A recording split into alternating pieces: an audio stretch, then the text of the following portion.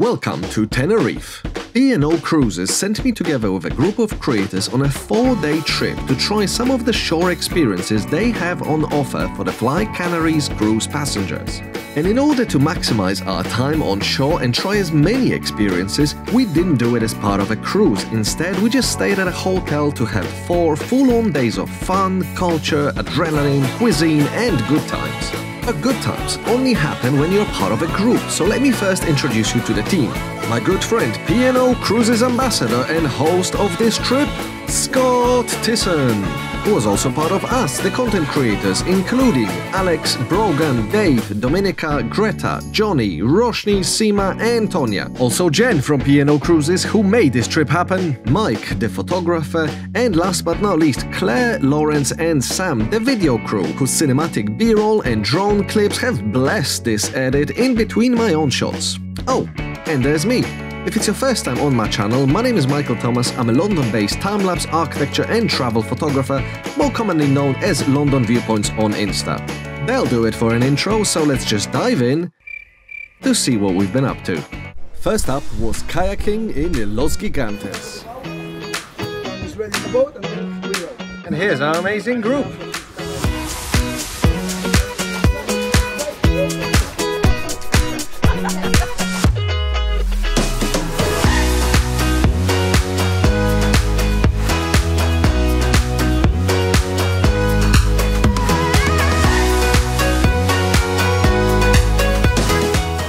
Here we are, kayaking in Los Gigantes. The views underneath these massive mountains are absolutely stunning. My kayak mate, Seema, Hey guys, here in a kayak in Tenerife with Michael, and we're enjoying the sea.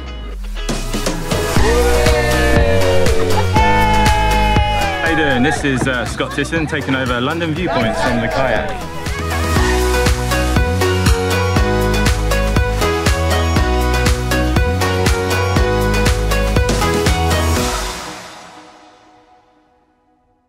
Next up, we're going on a catamaran whale and dolphin watching experience.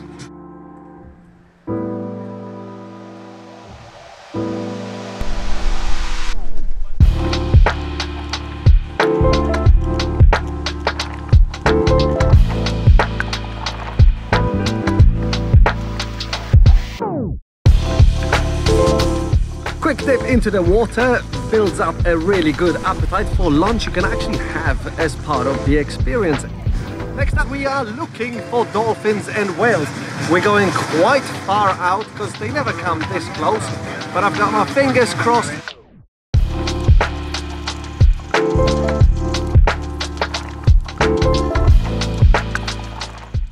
We just got the amazing luck of seeing the pilot whales in a group where there was even a baby.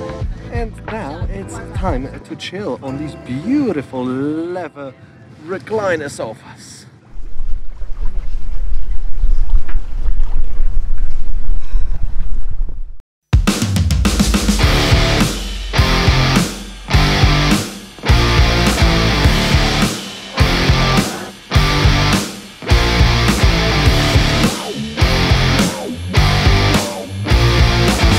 This evening we arrived at the Hard Rock Cafe, which is where we're going to have the evening meal and entertainment. And this is actually one of the experiences you can book through Musement. It's a new partnership from P&O Cruises offering you better prices on tickets for shore experiences.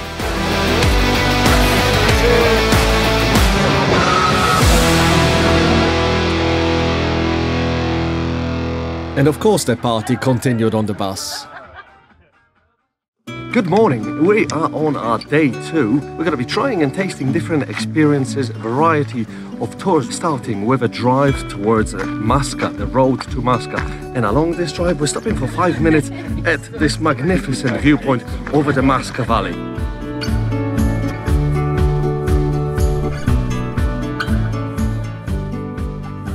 It is one of Tenerife's most popular viewpoints.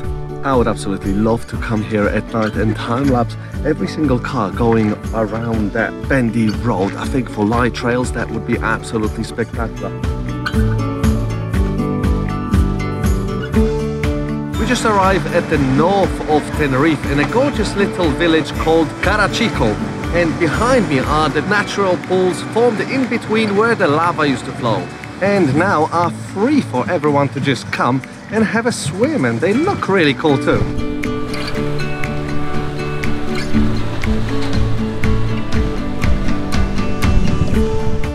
It's a small colonial village with very beautiful and colorful facades from white to blue, green, really pretty.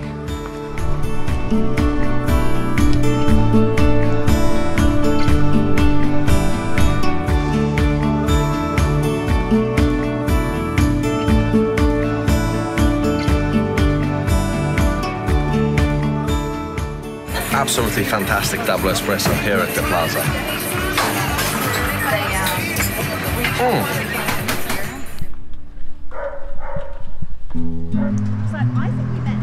We arrived at El Calderito, where we're gonna have a cooking experience with the chef of the restaurant. This is part of the wine and food Canary style experience, where first we learned how to make a delicious coriander sauce to be served as a starter.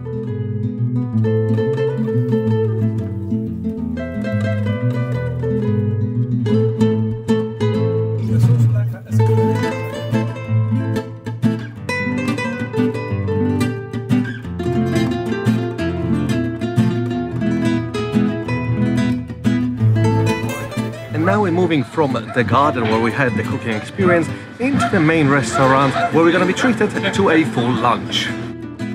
And what's better than dining in a traditional tapas with a view? Seriously, the food and wine from their own vineyard here was sublime. At the end, I squeezed a quick time lapse whilst enjoying a coffee with that view.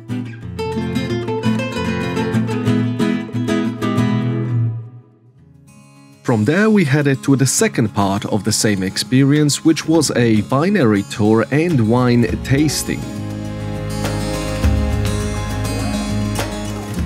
Inside the winery, there was this perfect symmetrical shot with the barrels on both sides, and I knew I had that shot in the head, so I took a few photos of Scott and Seema, and I hope you like these.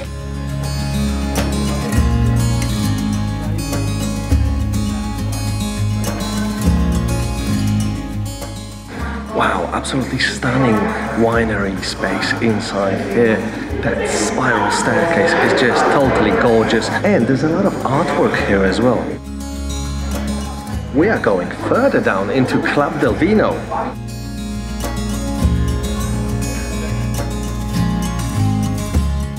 So here we have the place for our customer, for our client, to keep their own wine. a little party. you can put your little love notes in the barrel.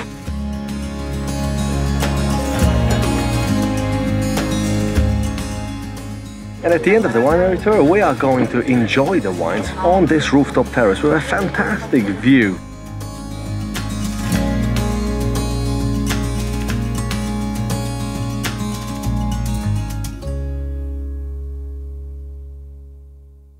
And now we just arrived on the nicest beach in Tenerife. Welcome to Las Teresitas.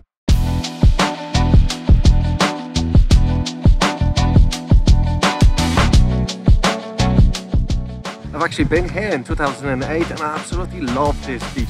The sand is so sandy because it's actually been brought from the Sahara Desert and it is absolutely gorgeous. And we are here to experience mojitos on the beach as well as a yoga session.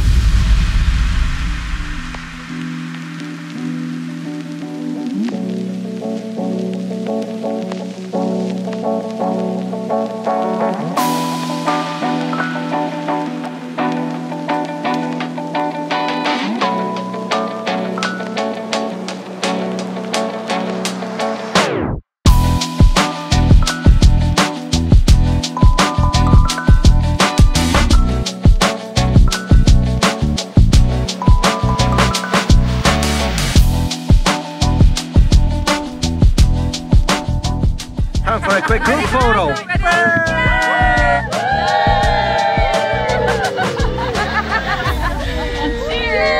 I absolutely love this beach. If you're in Tenerife, you have to visit La Teresitas because it is the best beach in Tenerife. Good morning, it's another day, and today our trip is first starting at La Laguna, a World Heritage Site, and it's a town that actually used to be the previous capital of Tenerife. And also today is Alex's birthday. Happy birthday, Alex!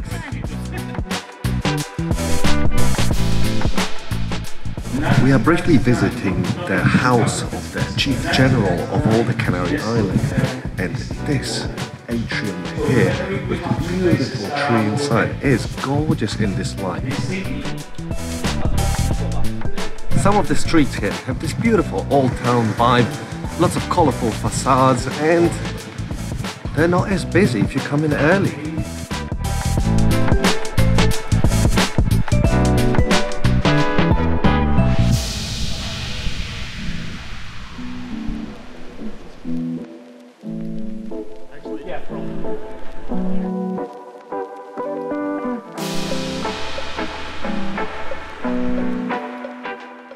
Called dragon trees, but apparently they're not actually a tree, they are a plant, but they look magnificent.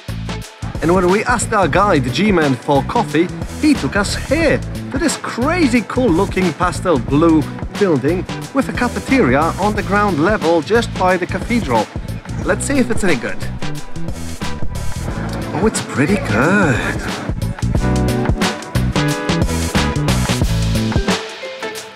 And now, my kind of experience. We drove the bus to an altitude of 751 meters above sea level, ocean level, and we are at the viewpoint Mirador Cruz del Carmen. Yes. You actually reach this viewpoint at the end of a UNESCO forest walk, which is a two part experience with La Laguna.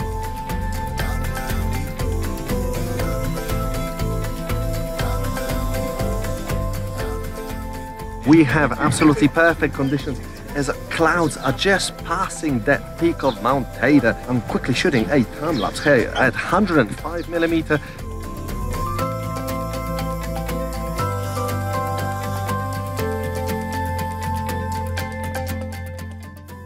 What a cool view this is. Honestly, could spend here hours time-lapsing with different focal lengths. Our next experience is at the gardens. And if you want to do it as part, sorry to jump in. Hello, I'm Scott. If you Hello, want to Scott. do it as part of a P&O Cruises shore experience, it's Gardens and Porto de la Cruz. Sadly, we're not going to go to Porto de la Cruz, but we are going to show you the fantastic guide, the gar- fantastic gardens with this guide. And the gardens here are really lush. Wow.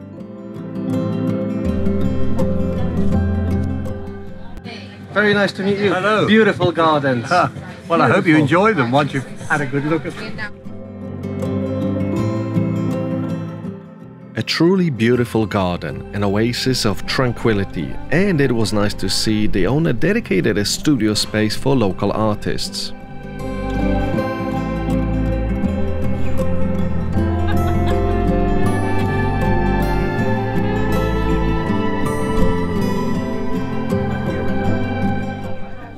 Person who uh, we know who came here was a bloke called Alexander von Humboldt, discoverer, traveller, adventurer, geologist, botanist, who was off on his way to South America and his ship popped in here to Tenerife. Lovely coffee, fantastic garden, totally recommend a visit. Next up, we went to visit Abaco Mansion, a historic grand house now being used for events and weddings. And it's part of the San Pedro Coastal Walk experience, which I will tell you more about after this one.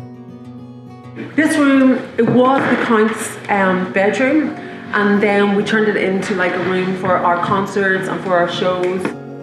You know, I always thought I'm a kind of a modern architecture and modernist kitchen style person, but this looks so cool. I could imagine seeing myself cooking here because I do cook.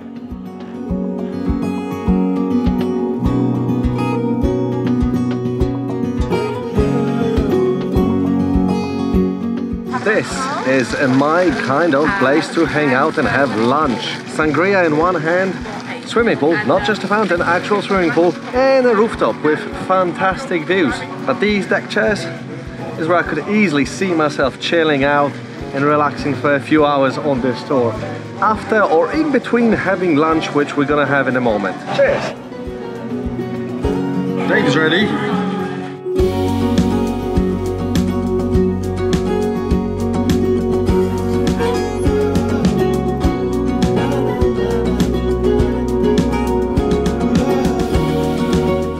This was absolutely an amazing experience. This lunch, the food we had was gorgeous. And the view, just looking at this pool, the blue sky over palm trees, totally recommend.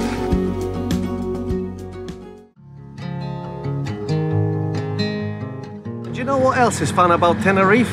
All the miradors. Because of the island's topography, there's absolutely loads of them. And we are now at Mirador San Pedro. I'm actually gonna follow our guide, G-Man, because he knows the best spots where you can get a view.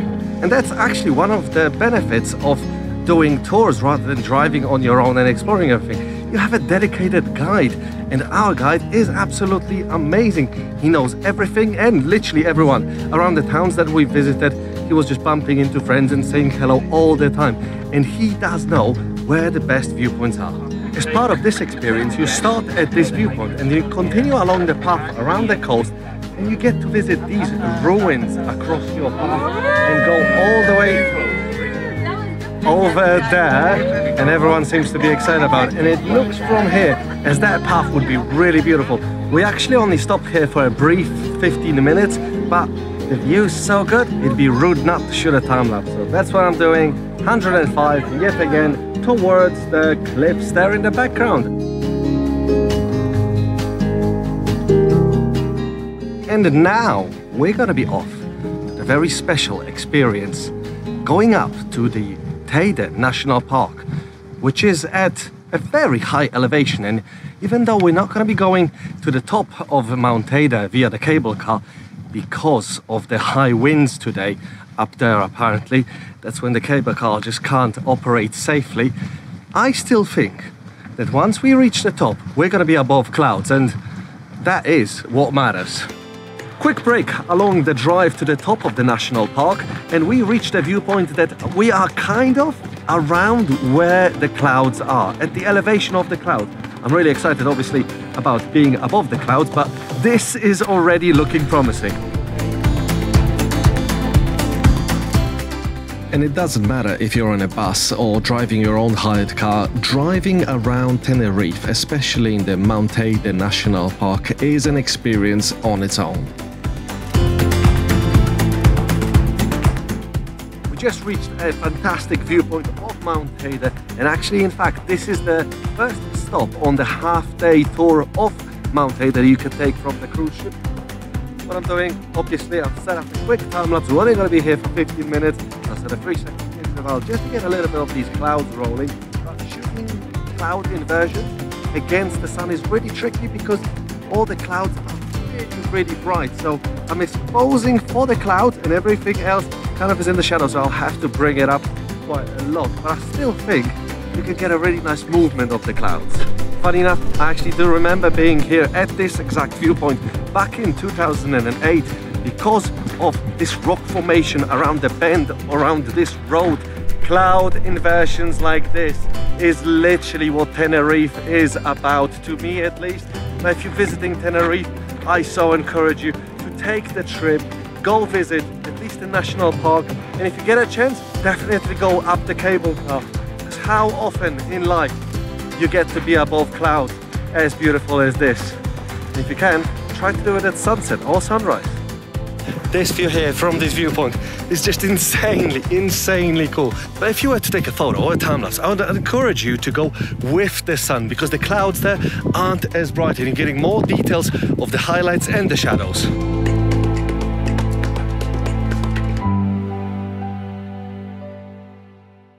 Next up on our list, we are on the moon! This is literally crazy. It feels like the moon. And, fun fact, one of the scenes in the Clash of the Titans were actually filmed here with that big scorpion fight.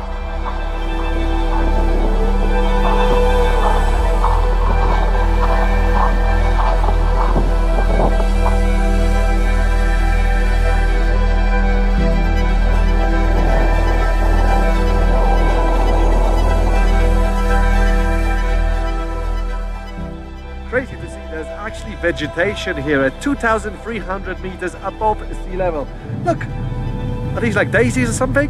I don't quite know, I'm not quite a flower guy, but I do appreciate seeing vegetation here. Funny thing is, there's nothing to time lapse here because we are so high above the clouds, there's nothing moving. However, it's a completely different story if you come here at night time because here there's literally no light pollution. So for Astro Milky Way, this is the spot. And I don't want to spoil it, but I might be shooting it tonight.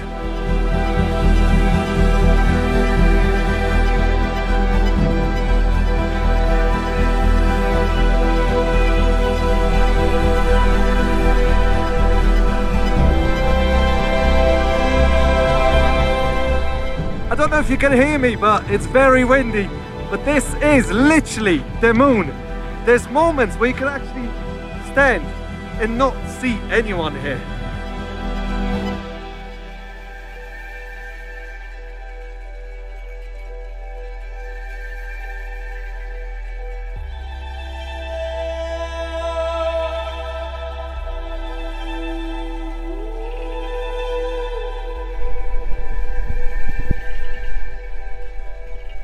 We arrived now at actually our penultimate stop. This place is called Mirador de la Ruleta, and the view is over this inside of what used to be the crater because all this used to be one big volcano before some of it apparently fell to one side and then a new volcano created Mount Teide. When there isn't much time and you know that top of there will be a good viewpoint, well you try to hike fast. This is what I'm talking about. Even I got my own shadow there. How cool is that?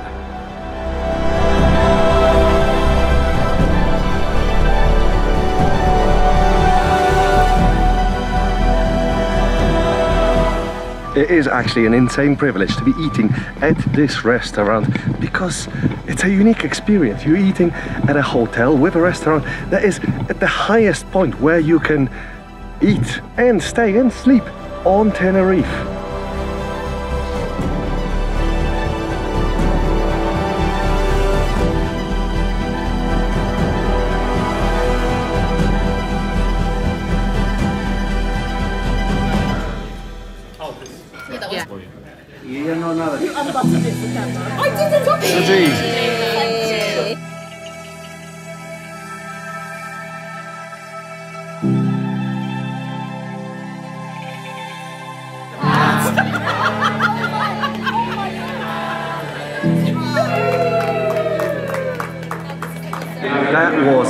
Absolutely lovely dinner. What a cool location to host a birthday dinner and then have cake.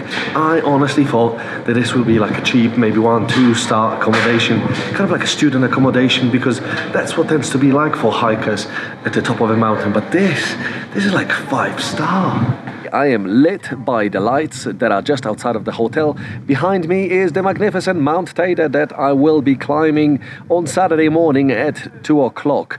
Yes, actually climbing all the way from the bottom all the way to the top for sunrise. So I'm really looking forward to that. But now we are off to a stargazing experience. I absolutely love shooting astro. I can already see the Milky Way rising. It will be a tad difficult actually shooting a time lapse because the stargazing guy will be like pointing his laser to things and that will ruin my time lapse. So let's see what we can get and yeah, we'll take it from there. This was my first time ever at a dark sky site so dark, like I've never seen the Milky Way this clear with a naked eye. Our stargazing slash astronomy expert showed us all the constellations, even the Hubble telescope flying past, all while I did set up a couple of time lapses, but with all the cars driving past and our group taking photos with flashes, I had low hopes for either. While a single photo chosen from the timelapse looks epic, I knew I had to go back here, find a better spot, further away from the parking area and spend the full night. So I did, two days later, and here are the results.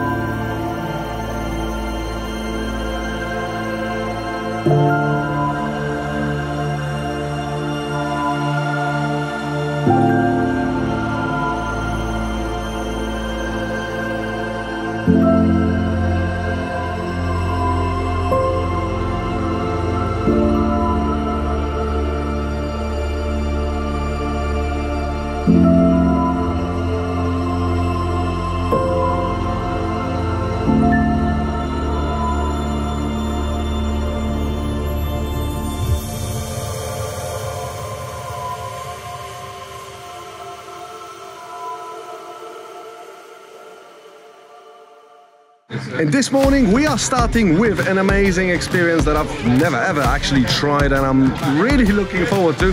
We are going jet skiing!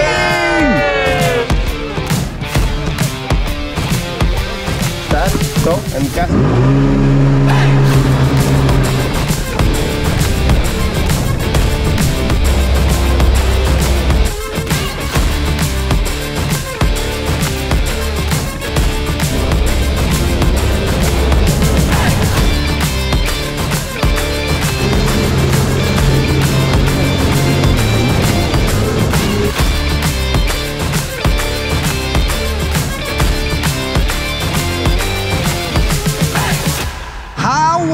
On a jet ski before? I absolutely loved it! And our second experience of the day, nothing shy of absolute epicness. Siam Water Park.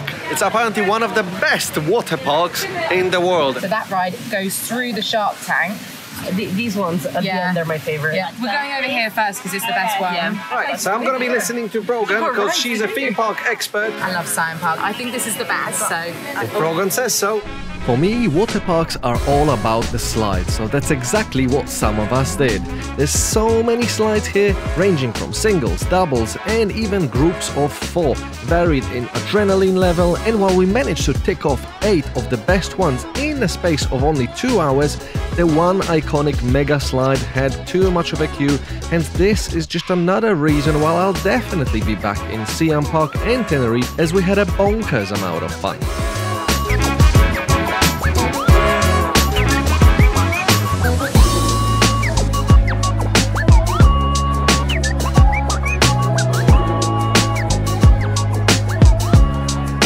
And just like that came to a close a four days pick and mix trip of testing all the experiences that one could book from the P&O cruise uh, as part of their overnight or a few days stay here in Tenerife. I would recommend you to go adventurous, to sign up to some of these experiences and explore the island. Thanks for watching. I'm gonna go now and enjoy the last dinner with the group of some of the influencers that are still here today with us.